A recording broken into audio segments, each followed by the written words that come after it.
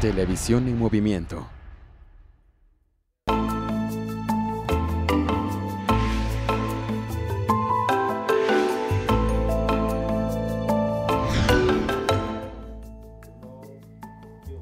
Hola, ¿qué tal? Muy buenos días, buenos días a todos. Bienvenidos a Médico de Cabecera de los días viernes. Yo soy el doctor Marco Antonio Góngora Carlín, su médico de cabecera.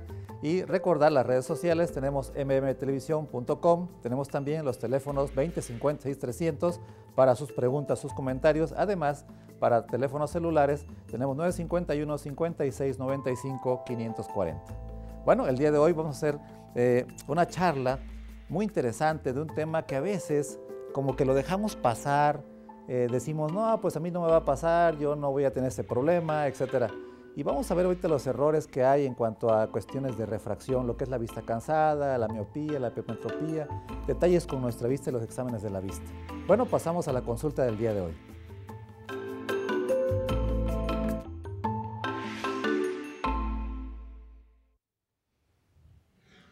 Bueno, y tenemos aquí eh, la presencia del licenciado Carlos Gerardo López González, tenemos también la presencia del licenciado Efren David Luis Martínez, eh, ellos son optometristas, contactólogos y eh, el actual presidente del Colegio de Optometría de Oaxaca y el expresidente. Bienvenidos. Bienvenido. Bien, gracias. Ahora, eh, una, una, una, pregunta, ¿qué cosa es esto de la contactología? la contactología es una especialidad en la adaptación de lentes de contacto, específicamente. Eso es, ok. ¿Y la optometría, este, licenciado? Ok, claro que sí, pues más que nada, la, antes que nada, pues gracias por el espacio. Este, el optometrista en sí es un profesional de, que se encarga de detectar, digamos, problemas visuales refractivos, como ya lo mencionó, miopía, hipermetropía, astigmatismo, presbicia, pero en sí también, digamos, somos la primera barrera en cuestión de detección de problemas este, para prevenir la ceguera, ¿no? Claro. Sí, detectamos también patologías, ya una vez detectando esas patologías, pues lo canalizamos con este, el especialista que es el oftalmólogo. Entonces trabajamos en relación con ellos, es lo que hace ah, el optometrista. Hay una, em, digamos ahí, una dualidad con ustedes y los oftalmólogos y prácticamente ustedes son el primer contacto con la gente que tiene alguna alteración en la visión. Así es. Ok, bien. Y ahora, eh, ya entrando en el tema, eh, muchas veces eh, uno dice, bueno, es que eh, la vista cansada, voy y voy a un centro comercial y me compro unos lentes, ¿no? Así como que ahí están y voy y me los compro. Eh, desde el punto de vista de, su consulta, licenciado, ¿usted qué cosa ve más frecuentemente? específicamente veo muchas personas de mediana edad y encuentro mucho lo que es astigmatismo. Astigmatismo. ¿Qué cosa es el astigmatismo? El astigmatismo es, es una deformidad en la, en la curvatura de la córnea. Eso es. Eh, eh, provoca como un desenfoque, una normalidad en la visión, en las imágenes. Eso es. O sea que no veríamos como ni de lejos ni de cerca, o cuál, no, cuál sería Específicamente, eh, ambas cosas, ni de lejos ni de cerca, pero las imágenes están como, como escurridas. La persona ah, trata de ver como si estuviera sombreada la imagen, y eso refiere. Ah, muy bien, perfecto. Y, eh, ya estando en este tema del astigmatismo, tendríamos que ver aquí, por ejemplo, alguna situación de tipo eh, regional, es decir, no sé, se me ocurre que haya más problemas en la costa, más problemas en el istmo o aquí en la ciudad. ¿Tendremos que hablar algo de eso? Eh, yo creo que puede ser que en la costa, que estamos a nivel del mar, afecte mucho la luz ultravioleta la radiación ultravioleta, ah, y eso provoque que las personas tengan, no sé, más problemas, por ejemplo, de terigión, de problemas en, su, en alteraciones en su lágrima, en su película lacrimal. Ah, entonces, eh, por decirlo así, los costeños tendrían un mm. poquito más alteraciones por el sol. Efectivamente. Excelente. Y bueno, este astigmatismo, licenciado Efren, ¿tiene alguna situación de tipo genético? ¿Se hereda esta cuestión del desenfoque, de las alteraciones de este tipo?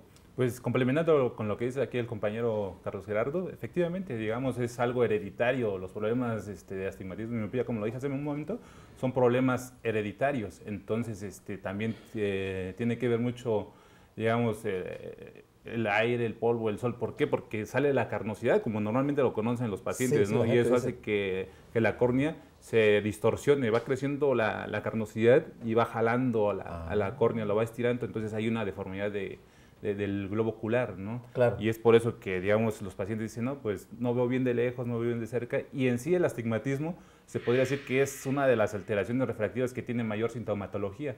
A eso me refiero, por ejemplo, dolor de cabeza, ardor, ah, va, secundariamente agregándose cosas. Así es, entonces este, es así como lo puede detectar un paciente, dice, bueno, me duele la cabeza, me arden los ojos, me da comezón, lagrimeo, irritación, o sea, todos esos síntomas conlleva a que probablemente el, paciente tenga problemas visuales. Ah, ok, fíjese interesante porque muchas veces ya acudimos con, con los, eh, los que saben del área, eh, pensando que nada más es un problema de ojos, pero va, va a la sintomatología agregada como la cefalea, el dolor de cabeza, como el lagrimeo, que muchas veces está uno que dice, oye, es que me arden los ojos, etcétera, etcétera. Bien, y aparte del astigmatismo, este, licenciado Carlos Gerardo, ¿qué otra patología se ve frecuentemente? O sea, usted en su consulta dice, bueno, ya había astigmatismo, ¿qué más ve? La miopía.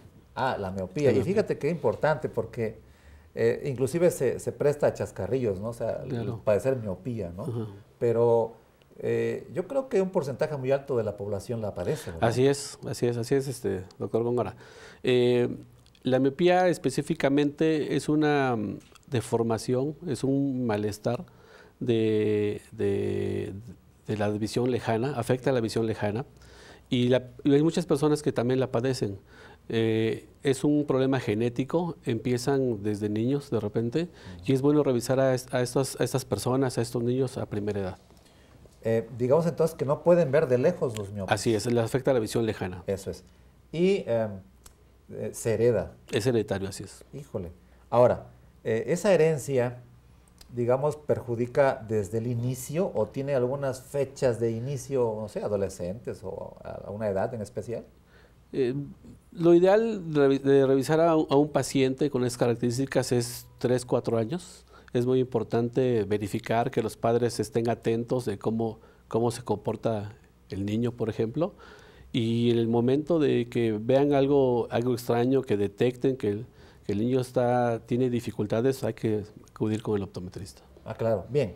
¿Y tiene corrección esto la miopía? Este Desde luego que sí, claro que sí. Este, nosotros corregimos con lentes negativos. También se, en caso, digamos, de hacerle una buena valoración primero. La otra corrección es el lente de contacto. Se puede adaptar un lente de ah, contacto. también. ¿Hay lentes de contacto para estas cosas? Para el miope. ¿Qué es el lente negativo?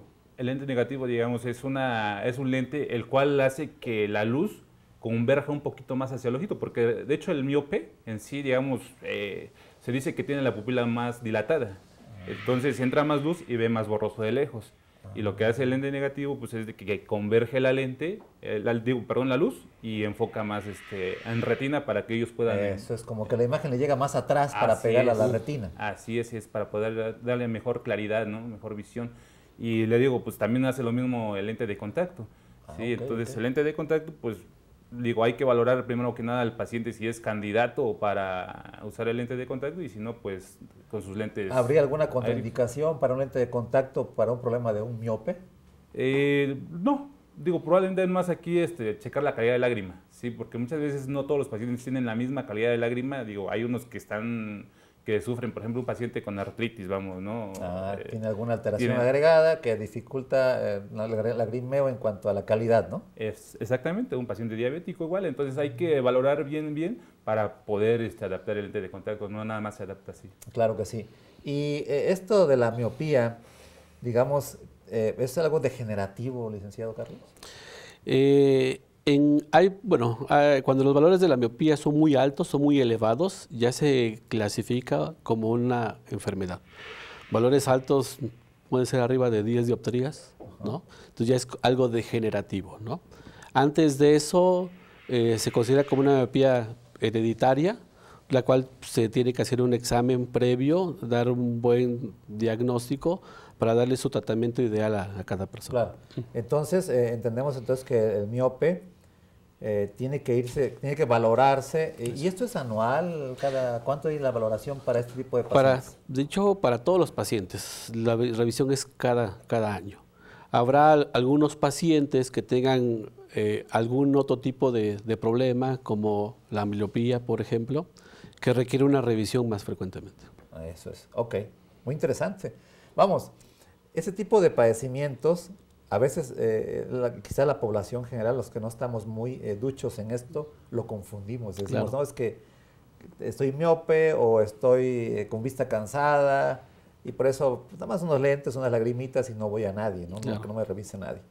Yo creo que con esta em, reflexión vamos a, dar por terminado el primer bloque, vamos al segundo bloque, no le cambie. Está muy interesante esta charla con el licenciado Carlos, con el licenciado Efren David, ambos son eh, optometristas, contactólogos y bueno, eh, seguimos en un minuto.